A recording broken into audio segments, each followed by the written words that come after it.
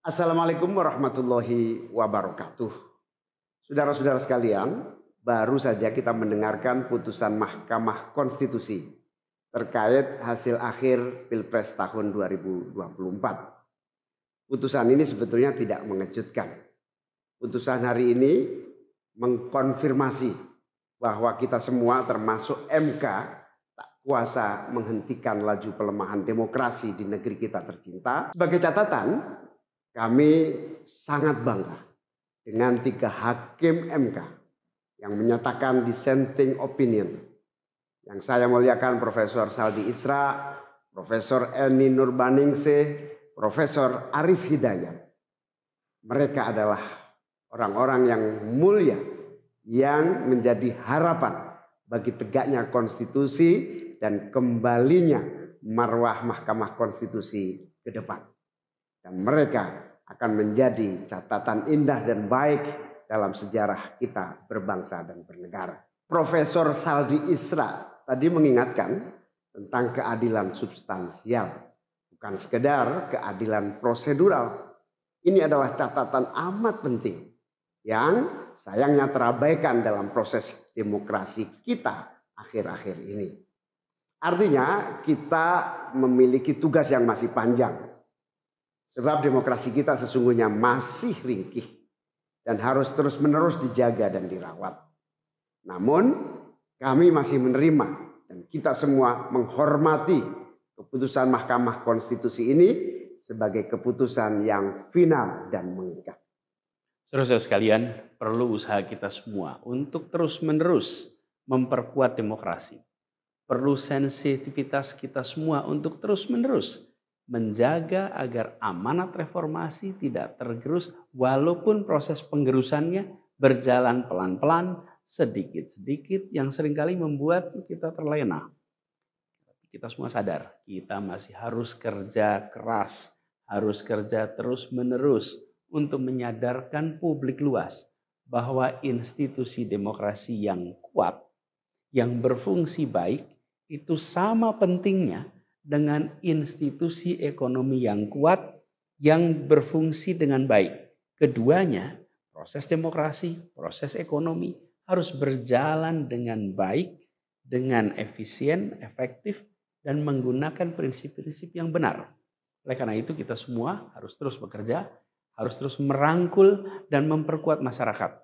Agar dalam proses demokrasi masyarakat kita bisa kebal terhadap imbalan-imbalan iming-iming jangka pendek dan tahan terhadap ancaman-ancaman dan tidak ada lagi pihak-pihak yang melakukan itu pada masyarakat kita. Saudara-saudara, atas alasan ini semua kami akan terus berkomitmen terhadap gerakan perubahan dengan cita-cita jangka panjang, memperkuat pilar-pilar demokrasi, serta menghadirkan keadilan dan kemakmuran bagi semua dalam kesempatan apa pun yang bisa kita raih di masa yang akan datang. Cita-cita kita untuk membangun negara yang menjamin keleluasaan berbicara dan kebebasan mengkritik. Negara di mana warganya bebas memilih tanpa iming-iming imbalan sesaat dan tekanan maupun ancaman. Ini tidak akan berhenti. Kita harus terus berjuang bersama-sama. Namun saudara-saudara, kepada seluruh para pendukung yang telah menitipkan aspirasi perubahan kepada kami sebagai capres dan cawapres, kami harus sampaikan. Di sinilah ujung perjuangan konstitusional kita dalam pilpres kali ini. Keputusan MK hari ini menjadi penanda berakhirnya seluruh proses pilpres 2024. Saudara sekalian, salah satu prinsip demokrasi yang baik adalah peaceful transition of power perpindahan kewenangan yang berjalan dengan damai dari presiden petahana yang segera akan berakhir masa jabatannya kepada presiden terpilih. Dengan segala catatan tentang problematiknya proses Pilpres 2024 kali ini, kami berkomitmen untuk menjaga prinsip peaceful transition of power itu. Dan kami memilih untuk menjadi bagian yang terus menjaga, terus membangun mutu demokrasi di Indonesia oleh karena itu, pada hari ini kami menyatakan bahwa bagi kami proses Pilpres 2024 telah terlewati seluruh fasenya. kami sampaikan kepada Pak Prabowo dan Pak Gibran, selamat menjalankan amanat konstitusi, selamat bekerja menunaikan harapan rakyat yang kini diembankan di atas pundak bapak-bapak berdua. Saya sempat berkali-kali ditanya pendapat pribadi tentang Pak Prabowo. Dan saya jawab, beliau adalah seorang patriot. Hari ini saya terus mempercayai sebagai seorang patriot. Beliau adalah seorang yang telah mengalami pendidikan modern sejak usia belia dan berasal dari keluarga intelektual yang amat terpandang. Maka Pak Prabowo tentu paham bahwa dalam demokrasi yang baik, menerima keberadaan oposisi sebagai partner dalam bernegara, menjaga keseimbangan dan independensi tiga cabang kekuasaan, yaitu eksekutif, legislatif, yudikatif. Lalu menjamin kebebasan media sebagai pilar keempat demokrasi serta yang tidak kalah penting adalah menjaga kebebasan rakyat di dalam bersuara, di dalam mengungkapkan pendapat, di dalam berserikat berkumpul dalam sebuah proses demokrasi. Dan sebagai seorang patriot terdidik, saya percaya Pak Prabowo akan mengembalikan dan akan menjaga nilai-nilai demokrasi ini di masa-masa Indonesia ke depan. Saudara-saudara sekalian, dalam kesempatan ini izinkan kami menyampaikan rasa terima kasih sedalam-dalamnya kepada seluruh pihak yang telah membersamai perjuangan kami. Partai pengusung, Partai Nasdem, PKS, PKB, teman-teman tim Nas Amin, teman-teman tim hukum nasional, seluruh teman-teman relawan, para ulama, para tokoh-tokoh agama, para pakar dan rekan-rekan media. Semua yang telah ikut berjuang bersama-sama mendukung perubahan.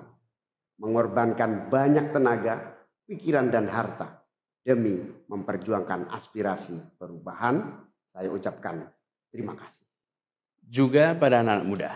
Anak-anak muda yang pada Pilpres kali ini memberi warna baru, membawa pesan optimisme, pesan kreativitas, pesan inovasi, pesan kebaruan.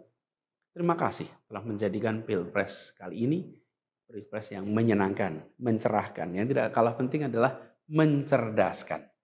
Kampanye yang membuat kita mendapatkan perspektif baru tentang apa arah Indonesia ke depan.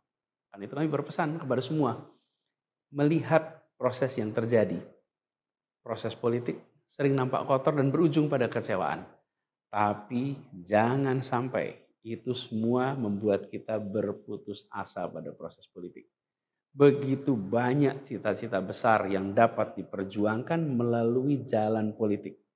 Bila saat ini kondisinya masih begitu mengecewakan, justru ini adalah tanda, ini adalah pengingat bahwa perlu semakin banyak dari kita semua yang mau berjuang di jalan politik.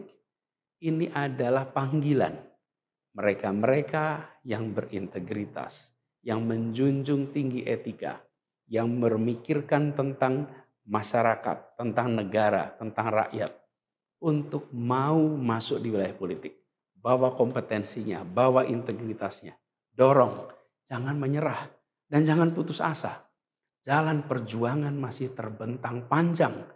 Sepanjang usia republik ini masih terbentang jalan pengabdian untuk melakukan perubahan bagi keadilan, bagi kesejahteraan, bagi kemakmuran kita semua dan itu dibutuhkan kemauan untuk mau terlibat di dalam proses politik.